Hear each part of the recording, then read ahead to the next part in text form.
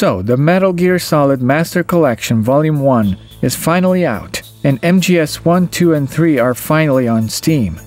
But are these the best versions of these games available on PC?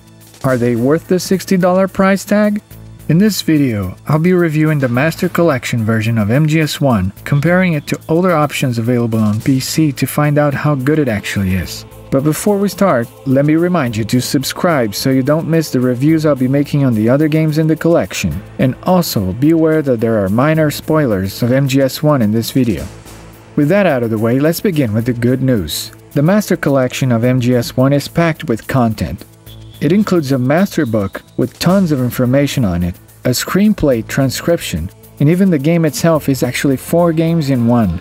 You can choose to play any of the four editions of the game that were released on the PlayStation 1, including the original edition, the American VR Missions Edition, the European Special Missions Edition, and the Japanese exclusive Integral Edition, which has extra content. You can also pick which language pack you'll be using, but unfortunately you can't mix subtitles and dubs from different languages. So for example, you cannot play it with English subtitles and Japanese audio. The game also supports modern controllers, including the PlayStation ones, and it automatically identifies which controller you're using and updates the button prompts accordingly. There's also the option to add a bunch of virtual save files for Konami games so that the iconic Psycho Mantis Easter egg works properly.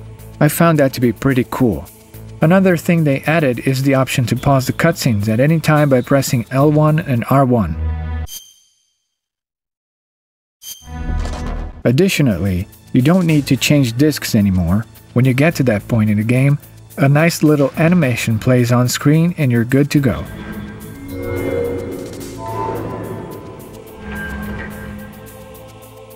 Okay, so these are all very nice features, but what about the game itself?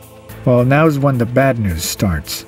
It seems that the game is running on some kind of PS1 emulator, and the emulation is not quite the best. For starters, the game is locked to 240p resolution with bilinear filtering, and there's no option to change the resolution or disable the filtering. The application is also locked to 1080p resolution, so if your monitor's resolution is higher than 1080p, when playing in full screen, you might have problems using Alt-Tab. It doesn't have integer scaling, scanline filters, or any kind of shaders either. The result is a very blurry image.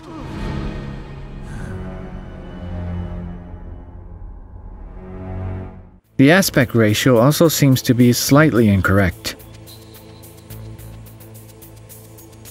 They do include the option to use wallpapers though. And, unlike the old PC version, the post-processing effects like depth of field and motion blur are working properly.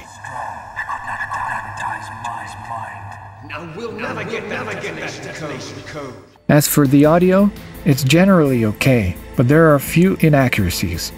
Take a listen to these sound effects.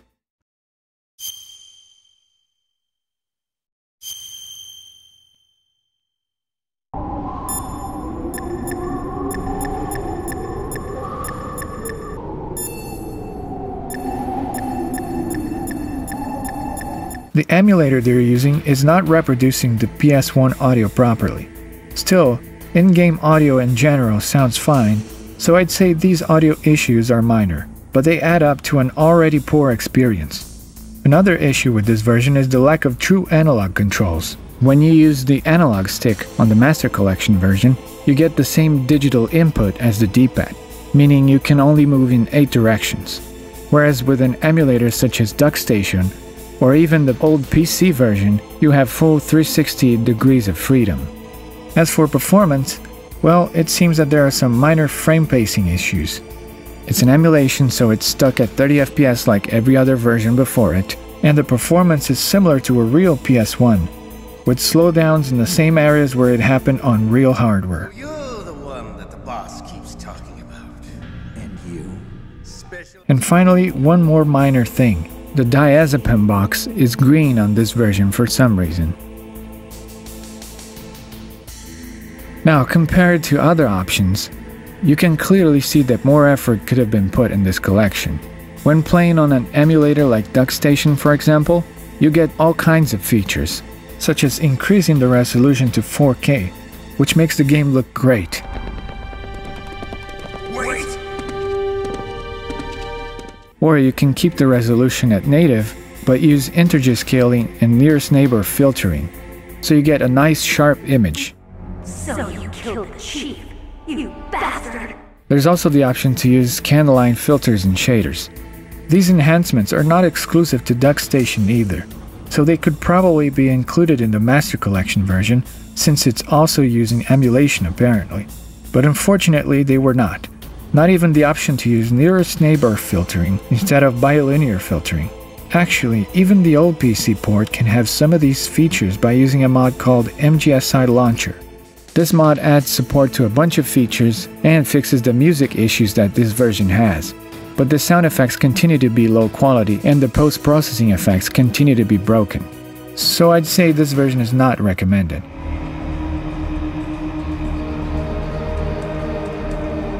In the end, it seems that once again I'm gonna be recommending DuckStation as the best way to play this game on PC.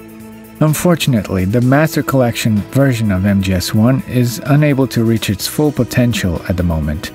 Unless Konami decides to update the game and add the ability to disable bilinear filtering, change the resolution, and fixes the audio inaccuracies, it's going to be hard to recommend the Master Collection version of Metal Gear Solid. Two-thirds of the world's greatest assassins are women. I hope you enjoyed this video. If you did, leave a like and subscribe for more. I'll be making reviews for the other games on the collection soon, so stay tuned for that. And if you want to get in touch with me, follow me on X.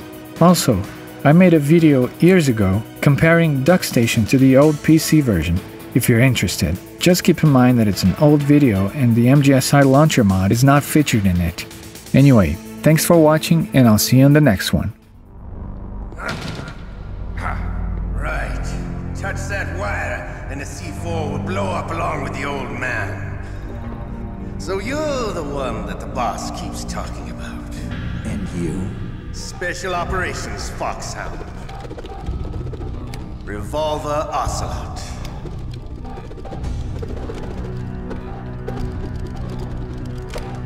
I've been waiting for you, Solid Snake.